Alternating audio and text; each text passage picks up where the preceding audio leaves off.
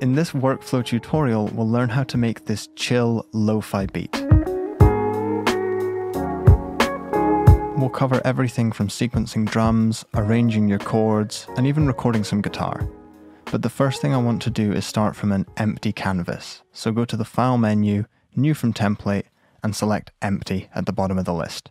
You can open the channel rack with this button here. I'd like to start by programming drums, and the channel rack is where we're going to hold all of our samples and instruments for the project. To get good samples, I'm going to go to the browser on the left hand side of the screen, and there are hundreds of samples in here. You can spend days searching for samples. Just left click to audition them. Let's take a listen. When you find the perfect one, left click and drag, and then just drop it onto the channel rack. When you find a kick and snare that you like, just middle click and rename and color these to keep your project nice and organized. With that done, let's set a tempo for the project by turning on the metronome. 120 is too fast, so I'm just going to slow it down to 90. Finally, I'll create a pattern to start programming the drums in. In the step sequencer, a left click adds a beat and a right click removes it. It's a really great way to start sequencing your beat.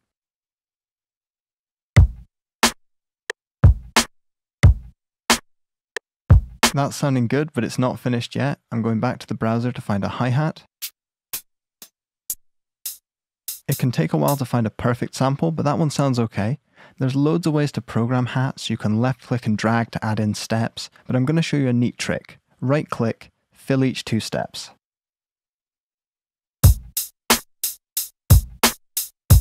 That sounds great, but the hi-hats are far too loud, so I'm going to use the channel volume dials here just to get everything sitting in the right place.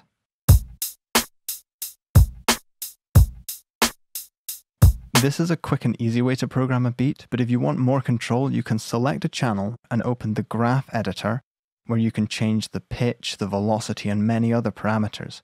I'm going to go to the velocity and make every second hi-hat a little bit more quiet to try and humanize the groove.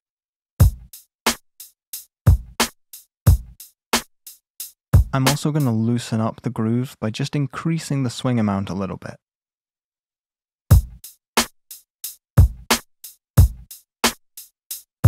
With that sounding good, it's time to open up our mixer. This is where we can add a lot more effects and further process all the elements in our song.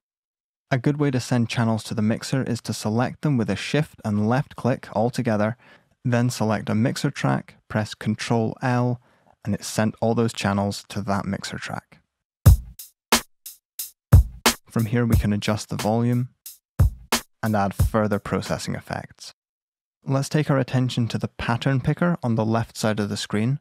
This is where all of our patterns will be, and if I select the draw tool, I can start drawing our pattern into the playlist.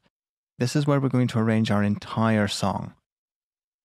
Simply repeating the same pattern over and over gets boring, so I'm going to right click, clone the pattern, and I'm going to make a subtle variation.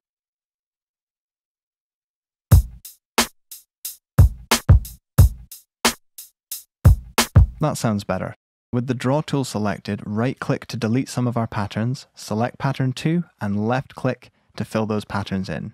To copy these patterns over, I'll use the selection tool from the toolbar, then press Ctrl C, Ctrl V, which copies and pastes it across. This gives us 8 bars, which is enough to start programming some piano. So I'll press F8 to open the plugin picker, where you've got lots of inbuilt synths, instruments, and effects. I'll select Flex, and drag and drop it onto the track header. This also links it to its own mixer track. But what is Flex? Flex comes loaded with hundreds of production ready sounds synths, basses, pianos, strings, you name it, it's in there. I'm going to pick a piano that I like, this Stage Grand. It has a certain lo fi quality to it. When you close the instrument, just know that you can open it at any time by clicking on the track header. I'm going to quickly rename that track and also rename the pattern that it automatically generated for us.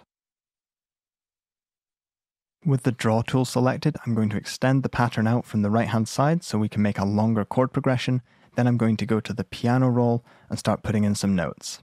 You can draw notes in, you can change their velocity, and it's just a really nice place to program chords and melodies. So I'm going to start programming a chord progression I've got in my head. You can copy along with the same chords and notes, or come up with anything you like. I'll use the selection tool to just shorten these notes.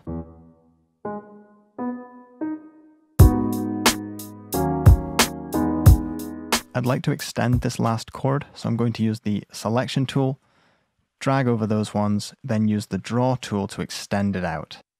I've zoomed out to give myself some more space to work with, and again I've just selected all of them and I'm going to press Ctrl B to paste them across into the next available bar. I'm going to make a few adjustments just to vary the pattern.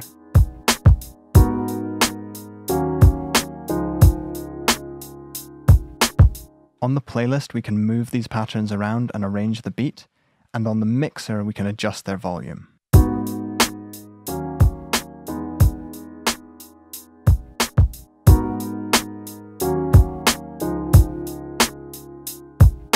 To make the piano sound more unique, I'll open Flex and adjust some of the macros.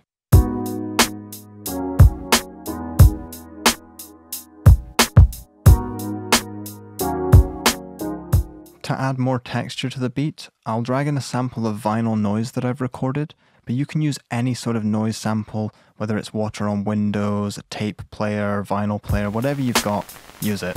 Okay, so that's much too loud, so I'm going to open the mixer and just fit that into the beat. That sounds good.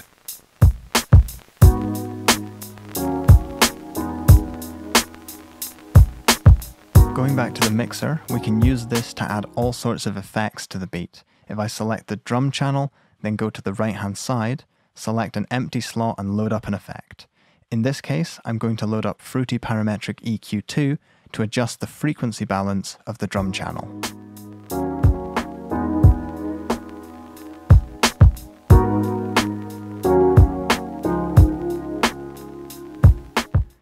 It's now time to record some guitar. Straight onto the mixer, I'm going to select a track, rename and color it guitar, go to my audio options, and I'll select my audio interface from this list.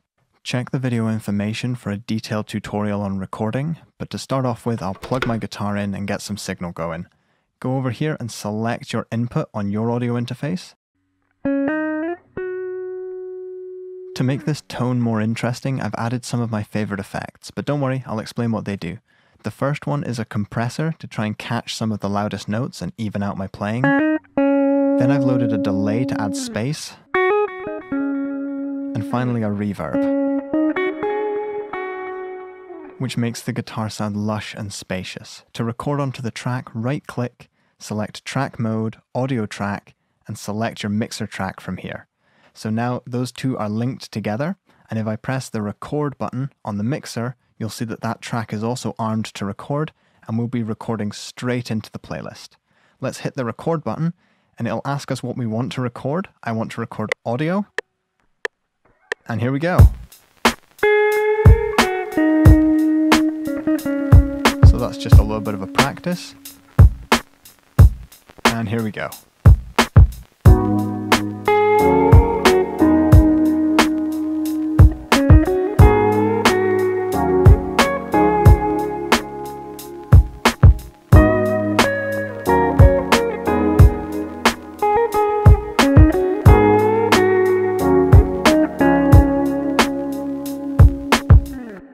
I like that recording and I'm going to keep it, but I want to use the slice tool to just cut off that practice take at the start.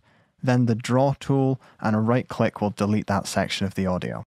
I also feel that loading an EQ will help me smooth out the top end.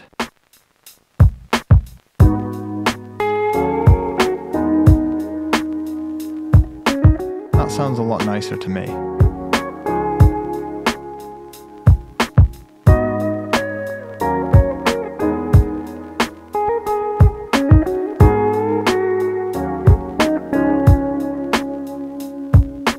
From here, you can keep arranging the beat and layering on more sounds, but remember to keep having fun and enjoy yourself.